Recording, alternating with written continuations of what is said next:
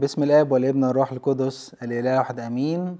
أهلا بيكم في حلقة جديدة من برنامج ذبيحة التسبيح. يا ترى القداس اللي بنصلي بيه نوع واحد ولا أنواع كتير؟ الحقيقة الكنيسة على مدار تاريخها عرفت قداسات كتير لأنه كل رسول من رسل السيد المسيح راح مكان بشر في دولة أو بشر في مدينة أو بشر في قطعة جغرافية كتب بوحي الروح القدس قداس عشان الناس اللي في المكان ده أو الكنيسة اللي اتأسست في المكان ده يصلوا بيه ويعملوا من خلاله سر التناول. لكن كل القداسات دي مبنية على نواة أساسية واحدة مبنية كلها على الكلمات اللي نطق بيها السيد المسيح يوم تأسيس سر التناول في خميس العهد. حاليا في كنيستنا القبطية الأرثوذكسية إحنا بنصلي بثلاث قداسات فقط. رغم إن التاريخ كان فيه قداسات كتير وليها أسماء كتير لكن حاليا إحنا بنصلي بثلاث قداسات فقط. القداس الأول كتبه القديس باسيليوس الكبير وعشان كده بنسميه القداس الباسيلي. وجرت العادة إن إحنا نصلي بيه في الأيام السنوي والقداس التاني كتبه القديس غريغوريوس الناطق بالإلهيات. عندنا في تاريخ الكنيسة ثلاثة غريغوريوس. واحد منهم القديس غريغوريوس الناطق بالإلهيات كان لاهوتي ومتعمق في اللاهوت. وعلشان كده بنسمي القداس اللي كتبه القداس الغريغوري. وجرت العادة إن إحنا نصلي بيه في أيام الأعياد لأن النغمة بتاعته مفرحة شوية. النوع الثالث من القداسات هو القداس الكيرلوسي وده اللي كتبه ماري مرقس الرسول كاروز الديار المصرية وهو يعتبر أول قداس اتكتب في تاريخ كنيستنا القبطية. لكن بعد شوية البابا كيرلس رقم 24 من بطاركة الكرازة المرقسية أضاف إليه بعض الصلوات وأعاد بعض ترتيب في القداس. وعشان كده سمينا القداس ده القداس الكيرلسي وجرت العادة إن إحنا نصلي بيه في أيام الأصوام. خدوا بالكم أنا بقول جرت العادة لكن مش الطقس. يعني التلات قداسات مسموح إن إحنا نصلي بيهم في أي وقت على مدار السنة. في أصوات دلوقتي في الكنيسة بتقول إن القداس الباسيلي والغرغوري فكر غربي. إيه مدى صحة المعلومة دي؟ ويعني إيه أصلا كلمة غربي؟ واشمعنى بيقولوا الكلام ده دلوقتي؟ بصوا هو البرنامج ده مش برنامج لاهوتي ومش برنامج تاريخ كنيسة لكن الحقيقة موضوع شرق وغرب ده محتاجين إن إحنا نفهمه. هجاوب على الموضوع ده في أربع خمس نقط. النقطة الأولى إنه كلمة شرق وغرب جغرافيا مش لاهوت. يعني لو قدامنا خريطة العالم وحطينا خط من النص عشان يبقى ناحية اليمين شرق وناحية الشمال غرب. الخط ده هيجي تقريبا كده عند إيطاليا. فالكنايس اللي كانت في العالم من بداية المسيحية خمس كراسي رسولية. يعني من بداية المسيحية كان في خمس مقرات لبطاركة على مستوى العالم.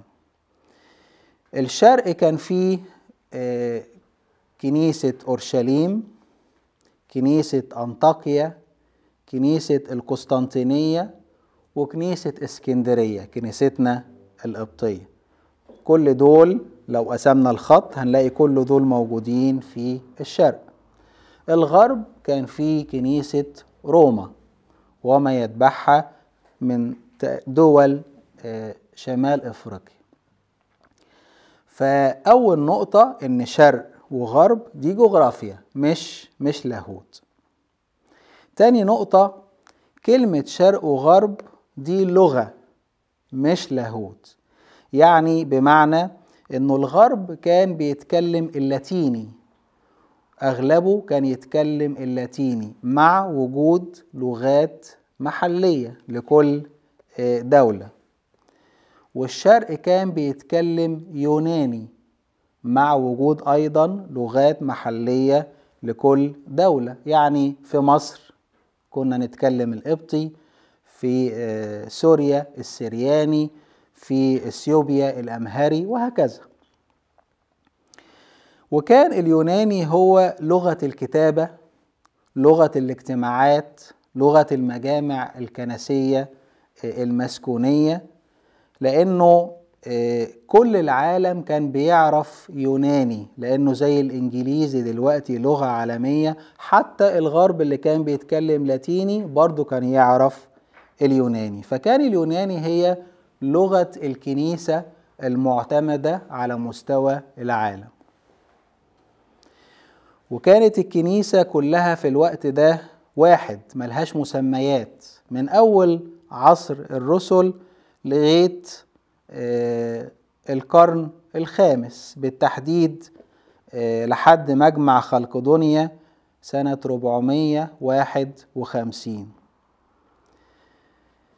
وبعد مجمع خلقدونيا اتقسمت الكنايس. برضو مش شرق وغرب لكن بقى في عندنا نوعين من الكنايس. نوع اسمه خلقدونيين يعني بيؤمنوا بمقررات مجمع خلقدونيا والنوع التاني اسمه لا خلقدونيين يعني بيرفضوا قرارات مجمع خلقدونيا منهم بقى إحنا الأقباط السريان الأرمن الأحباش الإريتريين الهنود.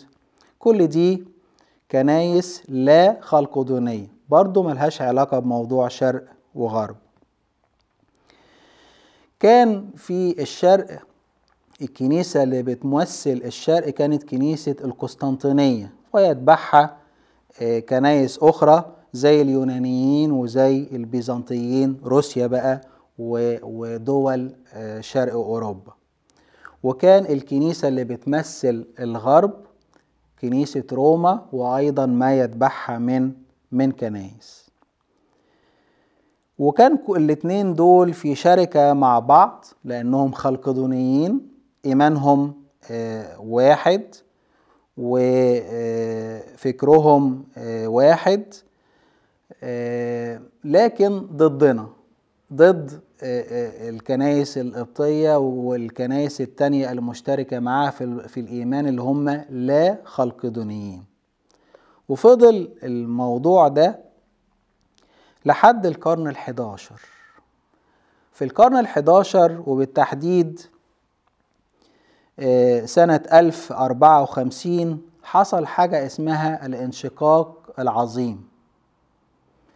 كنيسة القسطنطينية وتوابعها اختلفت اتشاكلت زعلت من كنيسة روما وتوابعها فانفصلوا عن بعض وبتوع الشرق القسطنطينية واليونانيين والبيزنطيين وتوابعهم سموا نفسهم أرثوذكس. وكنيسة روما اللي في الغرب سمت نفسها كاثوليك. من الوقت ده بس من القرن الحداشر من سنة 1054 ميلادية طلع كلمة شرق وغرب في اللاهوت. بقى في اختلاف ما بين الشرق والغرب في اللاهوت. ننتبه بقى إنه عندنا في مصر بيعتبروا إن كل ما هو ليس مصري هو غربي. اللي عايش هنا في أوروبا يعرف إن الدول اللي في شرق أوروبا تختلف تماما عن الدول اللي في غرب أوروبا. فمش أي حاجة أجنبية أو غير مصرية نقول عليها غربية. مش أي حاجة غير مصرية نقول عليها غربية. هل اللي بيقولوا الكلام ده إن القداس الباسيلي والغرغوري ده فيهم فكر غربي؟ جابوا الكلام ده منين؟ هل عشان اللي كتبوه مش مصريين؟ بس هما من فين؟ القديس باسيليوس الكبير ده كان أسقف كابادوكيا. أسقف قيصرية اللي هي كابادوكيا.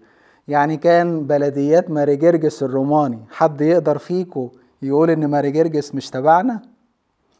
كمان القديس غريغوريوس برضه من الشرق. فالقداس الباسيلي والغرغوري اللي كتبوه من الشرق وكتبوه باللغة اليونانية اللي كانت لغة الشرق وكانت لغة الكنيسة في العصور دي كلها. وبعدين هو إيه الفكر الغربي اللي في الأداديس دي؟ إذا كان كل الكلمات المستخدمة في القداس الباسيلي والغرغوري وحتى الكورولوسي كلها كلمات تتوافق تماما مع إيماننا القبطي الأرثوذكسي. كلها كلمات جاية أو مستوحاة من الكتاب المقدس. فليه بنقول الأفكار دي؟ حقيقة هو بس بيكون واحد كده نص دارس وده بيبقى أخطر من اللي دارسين. ممكن يطلع بأفكار زي كده. لكن أنا أتمنى إن إحنا ندقق في كلامنا وأفكارنا اللي بنعلم بيها في الكنيسة واللي ممكن نمشي وراها من أي حد يقولها. ملخص الكلام إنه على مدار تاريخ كنيستنا كان في قداسات كتير لكن إحنا دلوقتي ملتزمين بثلاث قداسات باسيلي وغرغوري وكيرلسي اللي كتبهم آباء قديسين معتمدين في الكنيسة ليهم قامتهم واحترامهم وقداستهم عندنا في كنيستنا القبطية. كل كلمة اتكتبت في الثلاث قداسات دول جاية من الكتاب المقدس وتتوافق تماما مع إيماننا القبطي الأرثوذكسي.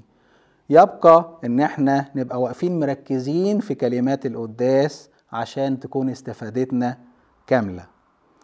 الكلام لسه مخلص لكن خلونا نكمل الحلقة الجاية.